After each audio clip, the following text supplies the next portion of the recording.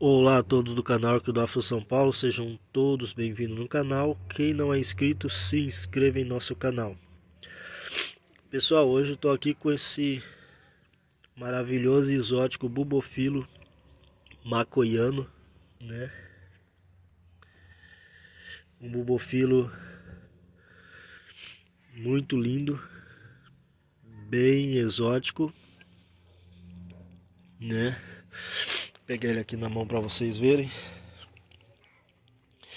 Está sendo cultivado, pessoal, em vaso plástico com mix de musgo e casca de arroz carbonizada.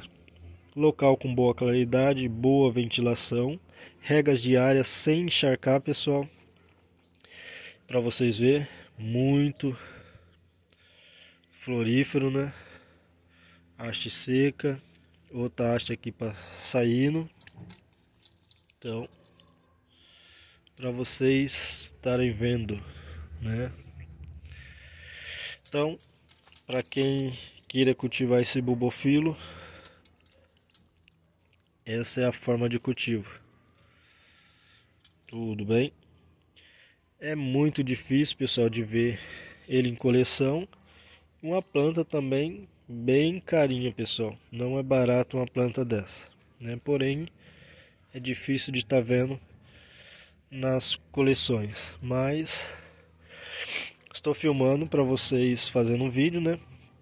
Para vocês estarem adquirindo conhecimento dessa planta, quem não conhece a espécie e quem tem, né, forma de cultivo, né?